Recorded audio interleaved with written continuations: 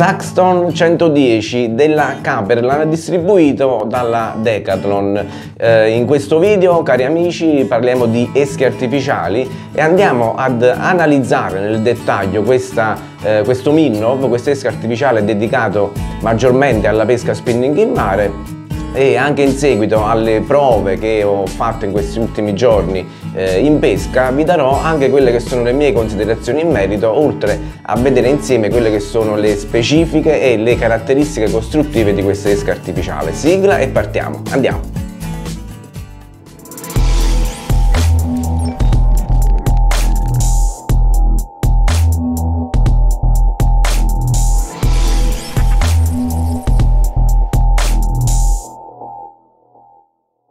Allora, si tratta di due esche di 11 cm e eh, la tipologia è tipicamente il Minnov Jerkbait. Eh, il peso del modello da, mm, diciamo, quello galleggiante floating è 14 grammi, mentre arriviamo a 15 per il modello suspending. Eh, si tratta di artificiali dotati di due ancorette VMC eh, non provvisti di rattle, quindi sono esche silent. Per quanto riguarda invece il bilanciamento interno, eh, troviamo un binario su cui scorre un cilindretto che alle, eh, ad un'estremità è, eh, è, previsto un, uh, un, magnete che ne blocca il movimento uh, dopo la fase di lancio. Uh, per quanto riguarda um, l'armatura interna non è provvisto di armatura interna, sono degli anellini eh, saldati direttamente sul corpo dell'esca e la profondità di nuoto a cui eh, arriva questo artificiale varia fra i 40 e i 60 cm mentre eh, per la versione suspending arriviamo fino a 70 cm di profondità.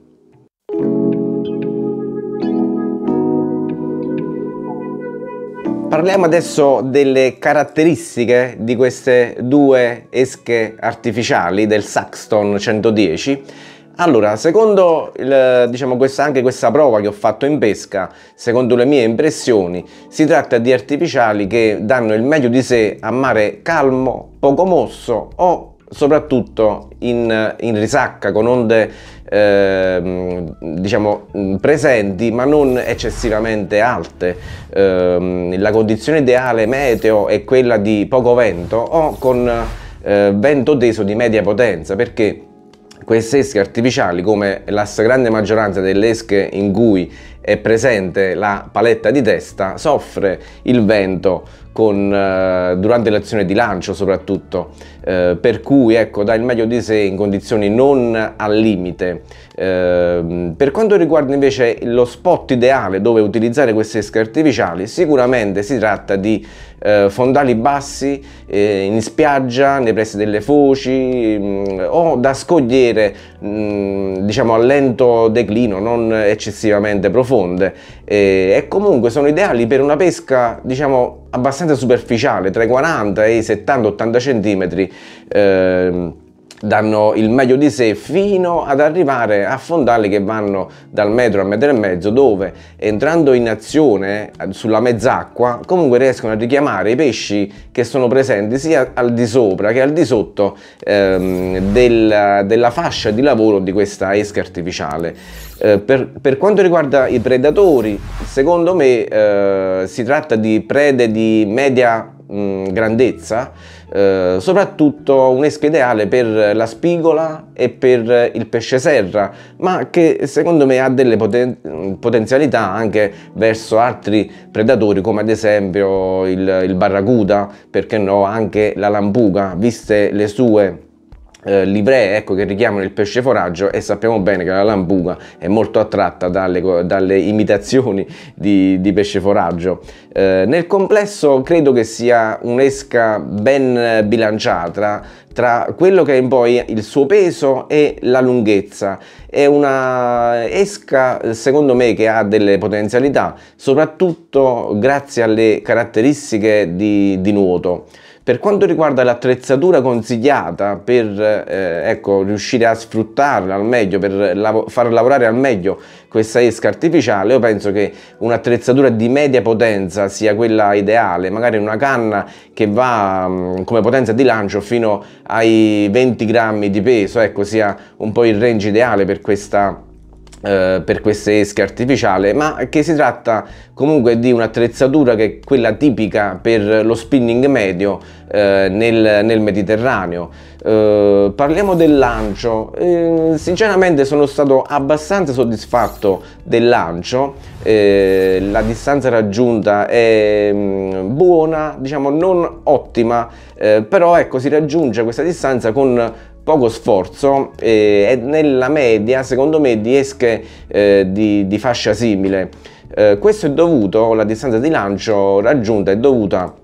alla pesistica interna ben bilanciata e che è una combinazione di eh, pesi fissi e pesi mobili. Infatti al suo interno, all'interno di questa esca, è presente un binario su cui scorre questo cilindretto. Nella parte finale, eh, nella coda, eh, il cilindretto viene bloccato durante la fase di lancio, il, il, cilindretto va verso la coda e si blocca in quella fase, permettendo ecco, all'esca di volare secondo una traiettoria ben definita e in questo modo anche ci facilita il, ehm, il, il taglio ecco, del, della corrente, del, del vento, dell'aria. Eh, arrivata in, in acqua l'esca, eh, il cilindretto si sposta nella posizione eh, anteriore eh, perché viene richiamato da un pesetto che è magnetico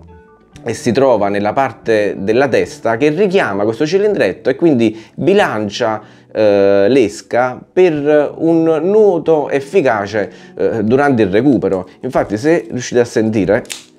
nel momento in cui noi lanciamo l'esca, il pesetto va verso la, la parte della coda per, eh, perché viene ecco, richiamato dall'energia cinetica. Quando l'esca cade in acqua, ecco, il pesetto va nella parte della testa. In questa parte c'è un, uh, una sfera magnetica che attrae il, il, ehm, la, la, pesistica interna e quindi ecco, bilancia, controbilancia l'esca artificiale. Infatti il cilindretto rimane bloccato nella parte della testa. Soltanto con un, un bello scossone durante la, l'azione di lancio il cilindretto ritorna nella coda per permetterci una lunga gittata. Parliamo anche delle caratteristiche di nuoto, che è una delle caratteristiche più interessanti di, di, questa esca, sia la versione floating che la versione suspending. E secondo me è un nuoto tipicamente, prettamente misto rolling e wobbling con una particolare accezione verso il wobbling. Infatti a differenza di quello che è descritto sul sito ufficiale Decathlon questa esca eh, reagisce soprattutto sulle ondulazioni Ehm, sul suo asse orizzontale quindi oltre il rolling che è definito dall'asse eh, verticale, no? è il nuoto sull'asse verticale dell'esca, questa, eh, questa esca in fase di recupero ha un wobbling molto accentuato e questo wobbling permette all'esca durante le azioni di nuoto di emettere tanti flash eh, che sono dei richiami ecco, verso il predatore che si trova nei paraggi e mixato al rolling, il rolling invece emette maggiormente delle, fa emettere delle vibrazioni all'esca, quindi questo mix flash, bagliori, eh, eh, vibrazioni emesse dal, dal pescetto, ecco, eh, è un mix davvero interessante per, per un'esca eh, diciamo di simili forme e dimensioni, è un bilanciamento ideale per quelle che sono le caratteristiche di nuoto che un'esca artificiale deve avere secondo me, eh, a, a, a facilitare anche questa azione di nuoto abbastanza sinuosa, ecco, chiamiamolo così, c'è anche la paletta che comunque la paletta di testa è ben studiata, è ben proporzionata al, all'esca e eh, ecco in qualche modo eh, riesce a dare quella trazione in più rispetto all'acqua e, per far emettere delle maggiori vibrazioni all'esca e donargli quella che è un po' il nuoto realistico che noi vediamo nelle, nelle fasi di, di recupero dell'esca. Allo stesso modo ci sono delle vibrazioni discrete che si sentono in canna soprattutto quando noi aumentiamo la velocità di recupero, si aumentano la, mm, le vibrazioni che invece sono mm, diciamo nella media di altre esche ma comunque ben studiate, ben bilanciate durante la fase di, di, diciamo, di nuoto con un recupero eh, medio o, o lento. Eh, ehm, eh, ripeto che si tratta di un'esca non provvista di rattling interno, infatti l'unico rumore che sentiamo è quello del pesetto fisso che, che mm, diciamo sbatte verso le pareti della plastica, ma non è presente un rattling interno. Diciamo che è un'esca che fa poco rumore, la potremmo definire un'esca silent eh, e in definitiva per chiudere sulle caratteristiche di questa esca eh, vi posso dire che le ancorette di cui è dotata, gli anellini di cui è dotata l'esca sono bilanciati e di qualità eh, rapportata ecco, anche un po' al, al prezzo, quindi di ottima eh, rapporto qualità-prezzo.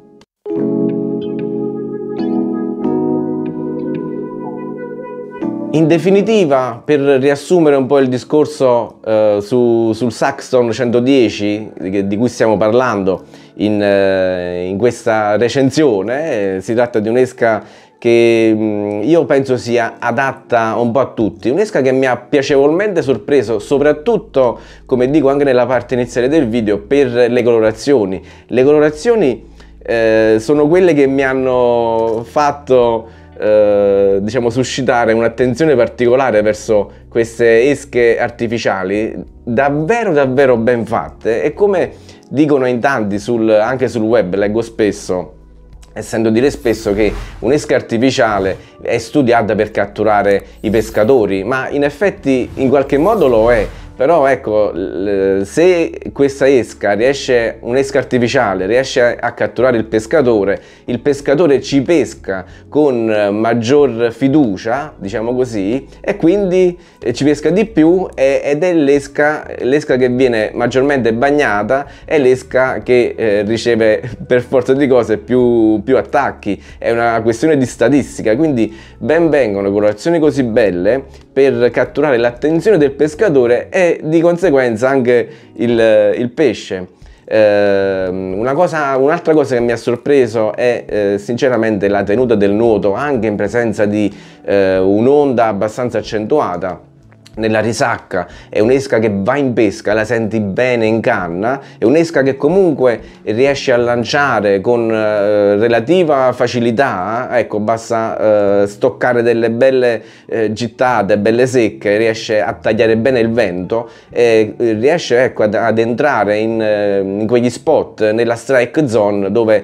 sappiamo, magari grazie anche alla nostra esperienza, che dobbiamo fare certe volte quel metro in più per riuscire ad essere maggiormente efficaci nei confronti dei predatori e quindi un'esca che ci permette di fare lanci precisi e ad una buona distanza. Ehm, un'esca dal ottimo rapporto qualità-prezzo, eh, se non sbaglio l'ho pagata intorno ai 9-10 euro, quindi tutto sommato per, eh, per, quanto riguarda le, la qualità costruttiva di questa esca, l'efficacia e la disponibilità anche nei negozi locali, eh, diciamo che è un'esca dal grande rapporto qualità-prezzo, un'esca efficace e che eh, in particolare è un'esca adatta anche un po' a tutti perché eh, non c'è bisogno di una grande dote tecnica delle fasi di recupero per poter utilizzare con efficacia questa esca perché basta un semplice recupero anche lento lineare oppure per i più esperti possiamo intervallare con qualche stop con qualche gercata eh, qualche ripartenza eh, aumento di velocità diciamo un'esca che si presta sia alla fascia di utenza più entry level per coloro che si stanno affacciando vorrebbero affacciarsi alla pesca spinning ma è una, una pesca, è una, una, un'esca artificiale, ecco, adatto anche a chi è magari anche un po' più tecnico e cerca un'esca che gli permetta di eh, sintetizzare al massimo quello che è l'interpretazione, una chiave principale per essere maggiormente efficaci nei confronti dei predatori più astuti.